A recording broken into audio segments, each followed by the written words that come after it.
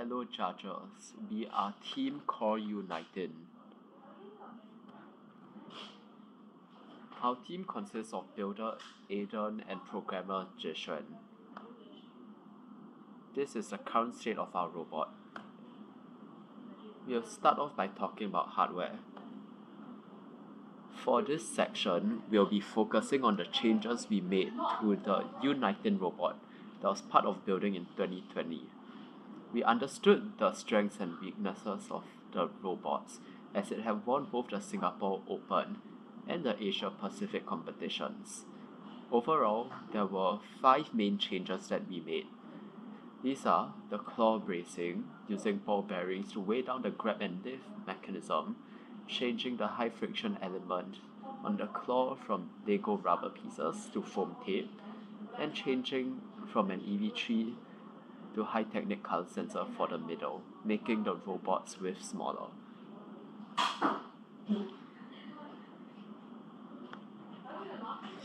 We also improved on adding 3D printed components to decrease our robot's width even more. And uh, mounted our color sensor at a better angle using a 3D printed part. The first change we made was to replace the Lego rubber pieces with foam tape. While the rubber pieces would work well when the ball and cube were perfectly centered at, at the base of the claw, the grip was unstable when the objects were not in the ideal position or con- orientation. We figured out that the root cause of this was because the objects had different shapes and using a hard claw would not fit those shapes well. Instead, we should use something that is soft and can wrap around to fit the shape of the object. We experimented with foam tape and found that the grip was more stable as it would conform to the shape of the object, increasing the surface area no matter how the object was oriented. With the foam tape, we can now pick up any object reliably regardless of where it is in the claw. The second change is the color sensor. We changed it to a HiTechnic color sensor as the range of the EV3 LEGO sensor was not high enough. It would still sense an object even if it was not perfectly aligned. So, we used a HiTechnic color sensor as it had longer range and had better color recognition than a normal one. One of the main problems experienced last year was the robot's width.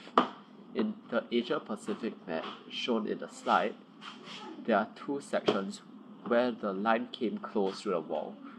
In those cases, the robot's width was too wide and hits the wall repeatedly, either reducing the efficiency of the robot when in line checks or entirely forcing the robot off the line. After realizing the issue, we changed the robot's width from 22 cm to 17 cm. We did this by reducing the amount of beam we use on the wheel brace, making it one beam wide. Additionally, we changed the weights of the claw, which we will talk about next.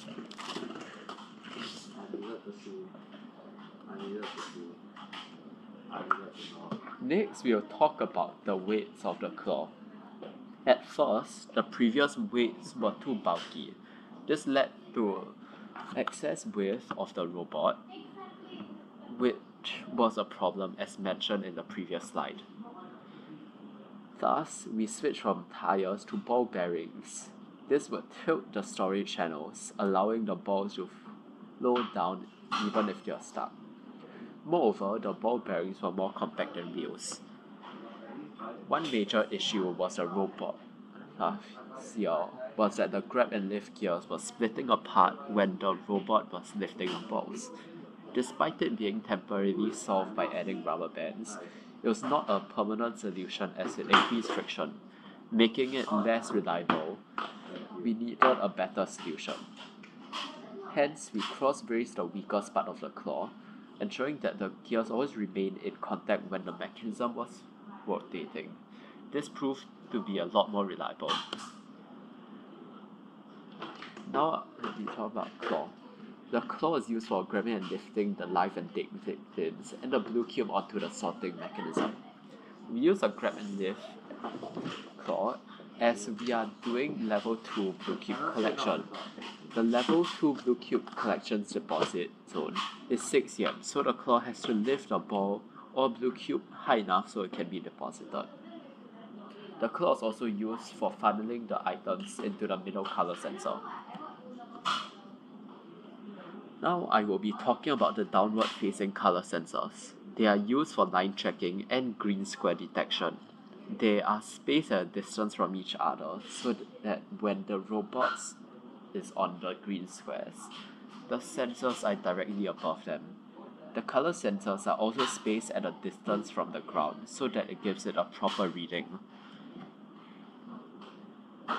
Now I'll be talk moving to talk about the and cube storage. There are two storage channels attached to the robot to separate the live and dead victims.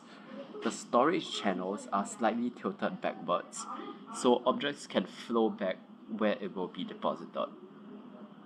There are also independent triggers such that when the robot reverses into the deposit zone, the triggers will be triggered and uh, the balls and cubes in the storage channels will fall into a deposit zone. This is a sorting mechanism. As you can see, it's a medium Lego motor mounted vertically so it can rotate the two prongs and not only sort the object, but can push the object further into storage in case it gets stuck. When there's an object detected, the ultrasonic sensor will help track the object as it moves around the obstacle, as you can see in the video. Next, we'll be talking about the software, which we did in Python. Now we will be moving on to the sensor calibration part. Before calibration, both color sensors kept on returning different values even when they are sensing the same color. Thus, we added code so that the color sensor returns 0% when above black and 100% when above white. For line tracking, we implemented proportional line tracking. After calculating the error between the left and right downward facing color sensors, the robot will turn the amount of error. So, if there is more error, the robot turns more. I will now be moving on to our green square detection. Previously, the robot constantly mistakes a black line as a green square, as both values are quite similar. Our solution was to increase the black threshold. We also realized the green squares always appear at intersections. Thus, when both left and right sensors sense double black, the robot reverses and checks for green squares. The robot senses silver tape when the downward facing car sensors return values that are greater than calibrated white values.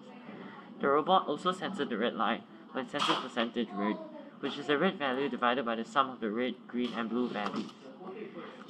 At first, there was a problem with the obstacle avoidance, where if you use a LEGO Mindstorms color sensor, the robot might not be able to sense the obstacle in time and turning, the robot would hit the obstacle. Knowing this problem, we used the High Techniques color sensor by increasing the range of sensing. The sensor would also be able to sense the obstacle and turn in time, avoiding hitting the obstacle.